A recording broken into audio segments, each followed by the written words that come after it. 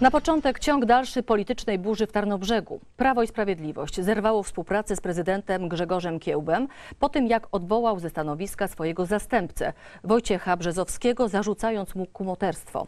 Ten twierdzi, że to nieprawda i domaga się przeprosin, grożąc gospodarzowi miasta sądem.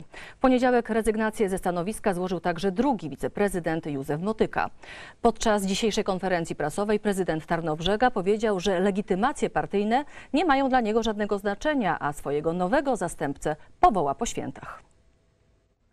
Biura dwóch byłych już wiceprezydentów Tarnobrzega były dziś puste.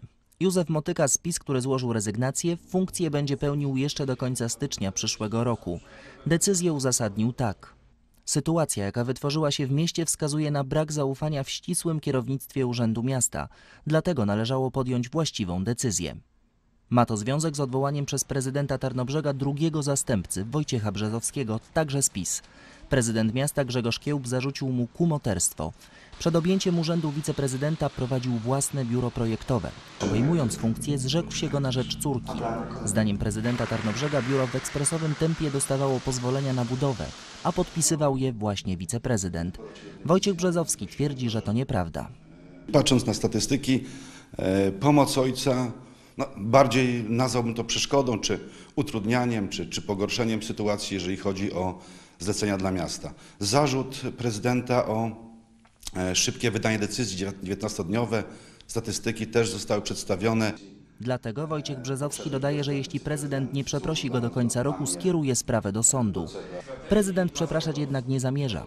Na dzisiejszej konferencji prasowej powiedział, że pracuje dla dobra mieszkańców, a legitymacja partyjna nie ma dla niego znaczenia.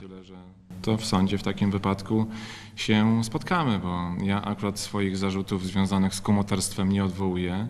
Dla mnie jest nieetyczne i niemoralne zachowanie takie. I kolejna sprawa, bo Józef Motyka został według mnie zmuszony do tego, żeby odejść e, z, z zajmowanej funkcji.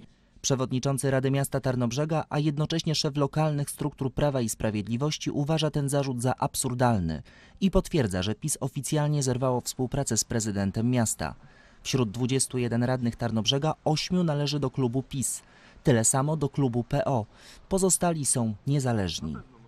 My kończymy formalnie z panem prezydentem współpracę, jako po prostu y, po wyborach podjęliśmy wspólne rozmowy, że y, za pewne rzeczy odpowiada Prawo i Sprawiedliwość, za pewne rzeczy pan prezydent. Oczywiście, chociaż on jako głowa miasta w tym momencie wiadomo, że miał y, odpowiedzialność za całość i podejmowaliśmy wspólną współpracę. Natomiast w tym momencie, krótko mówiąc, ta współpraca po odwołaniu wiceprezydentów Prawa i Sprawiedliwości, którzy pracowali i wspólnie realizowaliśmy pewne projekty, no dalej nie będzie kontynuowana w ten sposób.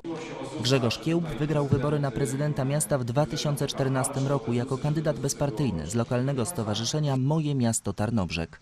W czasie kampanii PiS udzieliło mu wsparcia. Dziś prezydent zapowiedział, że nowego zastępcę, tylko jednego, powoła po świętach. Jak twierdzi, nie będzie to przedstawiciel Platformy Obywatelskiej.